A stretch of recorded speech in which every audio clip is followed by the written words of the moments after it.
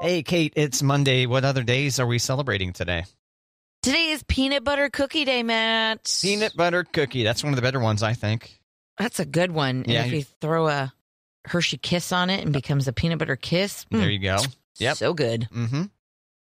Also, we've got Red Rose Day. Red rose. A single red rose. Red Rose Day. Yeah. It's also Beef Jerky Day. Oh, there you go. You into jerky? You got some jerky in your purse? You carry jerky around with you? I don't. I don't. I like beef jerky, but nope, I don't carry it with me. What is your emergency protein? I have a protein bar. Protein bar. Yeah. Does that do okay during the summertime if you're out by the pool or Um, whatever? I if I'm I usually don't throw my purse with me at the pool. But that is my emergency purse protein. But at the pool, if I throw it in the cooler, it's okay. Cause it does have chocolate in it. So Right, right. That was my Yeah. concern.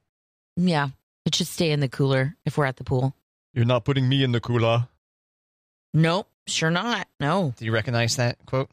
Um Schwarzenegger. Correct. And after that, I don't know. Schwarzenegger is Mr. Freeze. Oh, okay. The whole movie, There we he's full of puns, like "ice to meet you," you know, like that. Yeah, yeah. yeah. It was a real. Tell you what, it was. It was a film. It it was in the theaters. Yep. I saw it. I saw it in the theater. Did you really? Pretty rough. Yep. So, Kate, would you say you have Rizz, R I Z? R I Z Z? We were very close there. Do I have Rizz? Yeah. Do you know what Rizz is? I do not. It's a slang term often used to describe someone's ability to flirt and be charming. I do not have Rizz. No, Nope. no Rizz. oh, okay. So Rizz is right there in the word charismatic. I think that may be what it's based on. And it's fairly it's fairly recent term. Kate just became Yeah, popular within yeah. the last couple of years, according to dictionary.com, popularized by live streamer and YouTuber Kai Cenat. You familiar with him? No. Me neither. I probably butchered his last name, in fact. But Rizz, are you going to go use this now? Uh, maybe. Yeah. I'm trying to think of how to use it like with the kids and not sound like a, a creepy mom. Well, that's that's the objective of this show. You know. To sound like a creepy mom. Mm-hmm. Mm, Kind of. I did not sign up for that one. Okay, so maybe you catch one of the girls flirting with somebody, right? I hope not. And and you go, I saw you trying to rizz up that guy over there. Yeah, I still think I come off as a weirdo mom. Can't wait. Can't wait to find out. I think maybe it's more likely that this would come up in your life. Really? Yeah. Because I'm rizzing people up. Yeah. And you could even say, Did you get that? I rizzed you. I'm a hot single out there getting my rizz on. There you go. Good point. Matt, how do you feel about cheesecake? Cheesecake is pretty good. It's been a while. I used to get Burger Yeah. King's cheesecake back in the day. I'm not sure if that's still a thing or not. When I lived in Aggieville. Yeah. Mm-hmm. There was a Burger King there. Do you like a Oreo cheesecake? Does that sound good? I think I've had that before. Yeah. Okay. So there's a new trend on TikTok instant cheesecake. Two Oh, God. ingredients Okay. Oreos and sour cream, or Oreos and light cream cheese. Hmm. Sour cream? Sour cream. Now, I know what you're thinking. And before I brought this to you, I had to try it for the show. Oh. This was a that. Monty idea. He saw it on Instagram or something. He was like, hey, we should try this. So we tried it. For the show? Did he say specifically for the show? He did not, but I thought Oh. in my head, I was like, oh, yeah, this is for the show. Okay. Okay. I can't wait till the time we get Monty into a we should do this for the show mindset I know. Someday. I know. Someday. So you take an Oreo and you can either put a smear of cream cheese or sour cream on your cookie, or you could dip in the tub. Either way, I wouldn't go too heavy, but Oh. I tried it. It tastes like cream cheese. It tastes like cheesecake, but I don't like cheesecake. Uh-huh. So I was not having more than one. I had the one. I was like, yep, that's cheesecake. well, thank you for doing some science for the show. Yeah. So this one, they say to try uh, light cream cheese or sour cream. Light cream cheese Yeah, so it's not as heavy. or sour cream. And you use which one again? Mhm. I did sour cream. Huh. It was instant cheesecake. That seemed like that would be wrong. Why is that? Are sour cream and cream cheese that adjacent? Yes, Really? Okay. I think so. All right. Just Yeah. texture wise is the main difference. Mm-hmm. Okay. Yep.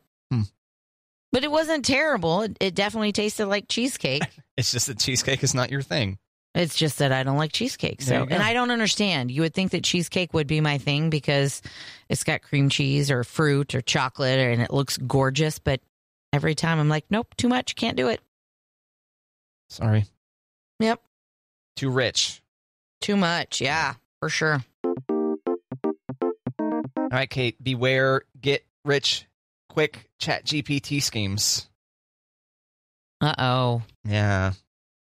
It turns out the only people getting rich on get rich quick chat GPT schemes are people who make videos on how to get rich using chat GPT. Oh, jeez. Yeah, but no one else is really. I shouldn't say no one else because there are a lot of job posts out there that are asking for experience with generative AI, like prompt engineer, where you type a prompt into ChatGPT. Mhm. But those are for jobs and careers. Those aren't quote get rich quick schemes, more or less. So if you thought you could just sit there and talk to a chatbot for a living, a little bit more complicated than that, Kate. Nice try. A little bit. Yeah. Have you thought about using ChatGPT to make money, Kate? I have not. I still haven't messed around with ChatGPT. Don't you have FOMO? Not really. No FOMO for ChatGPT. No.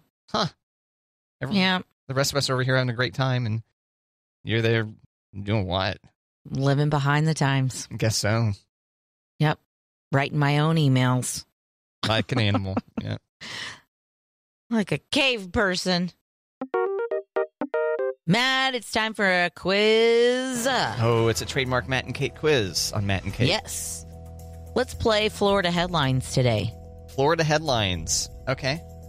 I'm going to read you a headline. You're going to tell me if it's a real Florida headline or if it's a fake Florida headline. Okay. Pressure's on. Okay. I feel like I need to start slow and lead up, right? oh, okay. Sure. All right, here we go. Canine dog rips off Florida man's testicles during oh drug bust. God. That was starting slow. That was starting slow. Yeah. I will say that's true. Canine dog rips off Florida man's testicles during drug bust. Fake. Oh, okay. It definitely sounds something like the Florida man, Yeah, I guess if you have pants on, it'd be hard for the dog to clip both, I would think. right? But dog gets you while you're nude. Watch out. Watch out. Okay. Okay.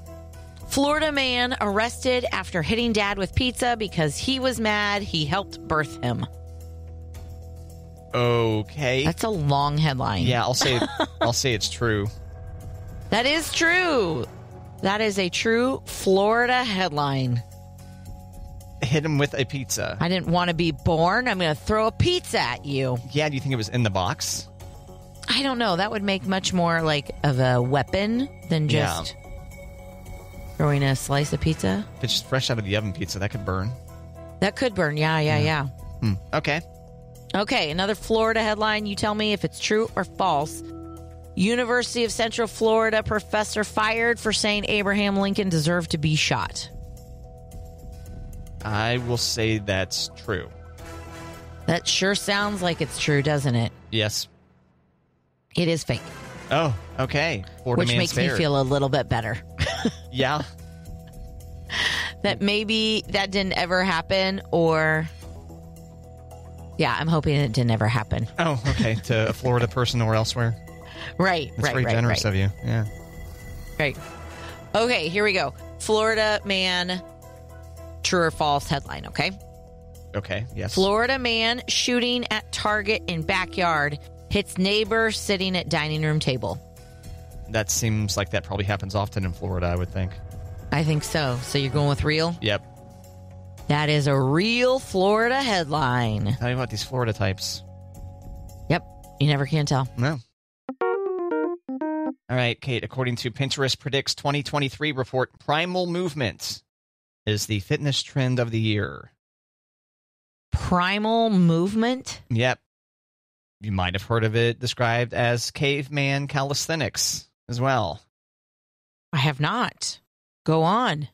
So you get down on all fours, for example, and maybe you imitate an ape, maybe a donkey, a crab, maybe, or scorpion, depending on the specific workout you're looking for. Okay. So if you're trying to find like minded folk, Kate, look for animal flow community groups. what? yeah. When was the last time you played like an animal? And they ask. Do some bunny hops, maybe? Hop around, Kate? Okay. Yeah. Yeah. So this is what you do. This is how you get fit now. You pretend you're a cave person. Yeah, caveman calisthenics. I'm not sure. Did cave people walk around like scorpions, though? Probably not. Probably not. No. That's a brilliant visual, though. Caveman. It's a little piece of fabric barely covering his goods. Doing the scorpion. Doing the scorpion. Yep. I you say scorpion and I picture crab walk. Those are two different things, right? Are they? Are they? Are they? I don't know. Right? Tell me. What, what, what did this say? Imitate. Yeah, this says imitating apes, donkeys, crabs, and scorpions. So yeah, you're right. Crab walking cave person Okay. is what we should visualize. Yeah, scorpion cave person. Yeah, I'm not sure. That's tougher. I hate crab walks. Do Those you? are hard. I do. Those are really hard. Apparently, that's how you get ripped. Yeah. So you think you're gonna aspire to be in the animal flow community, Kate? Probably not. That doesn't sound up my alley. No, Yeah. it sounds too hard. oh, that's the biggest reason why. Yeah, I'd rather walk on a treadmill in air conditioning. Thanks. Yeah. I think you could do this in air conditioning. Just because it's called caveman calisthenics doesn't mean you have to rely on cave person heating and cooling technology. No, but I think you need a little bit more space than what I've got. I don't Oh. know that I could be doing the caveman calisthenics just yet. Just yeah. out there in your backyard. That way, Chad and Anna, Jean and Kim, Kevin and Valerie, and Mark and Gail can witness it. Right. That'd be great. Right. Right. Yep. I know all of Kate's neighbors' names, dear listener, He does. and one of mine and one of mine. No, maybe two. That one guy's name is either Dan or Dave. Hmm. One of the ones. Yep. Dan or Dave. Do you ever be like, hey, Super D, what's up? No, I try No. to try to avoid him. Frankly, Because you don't know his name no, or other reasons. I just can't be bothered. Okay. Matt, the USPS said last year 5,300 of their workers have been attacked by dogs. Oh, hmm. You think that- Does that sound high or low to you? I feel like that's a lot. I thought maybe that was something like a overblown stereotype. That's a lot. But that's a lot, right? I think so. I don't know, like the level of attack, like if it's just a flesh wound versus like a bite or, right? you know, it have to pierce skin? right. They require a rabies shot or whatever. right. My guess is it's whatever they reported to their bosses, right? I would be mortified if my dog bit. Oh, Yeah. yeah. I think that's close to happening. No, I think when we get like packages and the dog is out, I think that they might be like, wow, she is jumping a lot and peeing. I don't want to walk up to that front door. So I get a little like protective, like get the Yeah. dog quick before FedEx or whatever gets here. So, The dog's hanging out in the yard doing its thing. you know, just chilling. And then the driver shows up and she has to be protective, but she also gets excited because it's somebody new. Like, what do I do? Do I pee? Do I bite? I don't Right. know. She jumps, she pees, she barks, All at she the same gets time. excited. All at the same all time. at the same time. Yeah, pretty much. How talented. It's a big, you know, whirlwind of dog pee and Uh huh. and barks. Sounds like a sounds like a scene. Yep, I know. It's fun. It's good times. no doubt.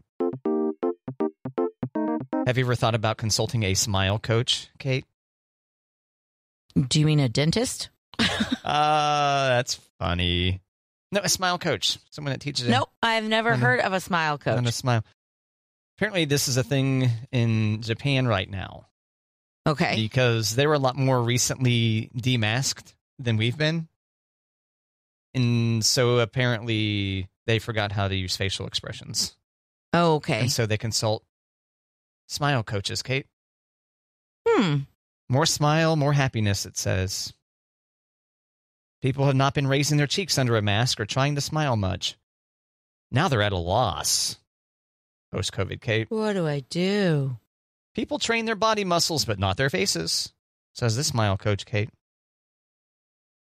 Hmm. I don't know. I feel like I have to train my face because if I left my face the way I normally would, I think people would be like, "Why are you making that face?" And like, I don't know, just smiling. It's okay.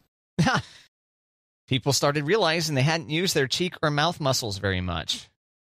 And you can't just suddenly start using these muscles. You need to work on them, Kate. Oh, Uh, yeah, this is a culture thing. Clearly. clearly. Although I haven't looked into a smile coach in the US. I guess I should do that before I jump to conclusions like that. But it seems like this more of a thing in Asia. Smile coaching. Hmm. Pretty wild stuff. I, I would think one would still smile in the comfort of their own home. Maybe you're watching a humorous video or something. Right? But no, smile atrophy apparently. Hmm. Matt, just for the pun of it. Just for the fun of it. Oh, you know what this means? Kate's going to give us a setup to a joke, and then you and I, dear listener, will guess the punchline. All right. What do you call a chicken looking at a bowl of salad? A chicken looking at a bowl of salad. Well, Mhm. chicken salad is a food item. I hope I don't get butchered and put in that salad. Is that what the chicken said? No. Oh. Chicken is What do looking you at a thing. call a chicken looking at a bowl of salad? What do you call a chicken looking at a bowl of salad? Yes. I'm uh, cockadoodle d- salad. I give up, Kate. What do you call? what do you call a chicken looking at a thing a salad? Chicken sees a salad. Chicken sees a salad. Got me. Get it? Yep, Caesar. I see. I, I hear and see. I understand. The chicken sees Like a salad. Caesar. I like Caesar salad. Indeed. Yeah. Yeah. Good work. Yeah.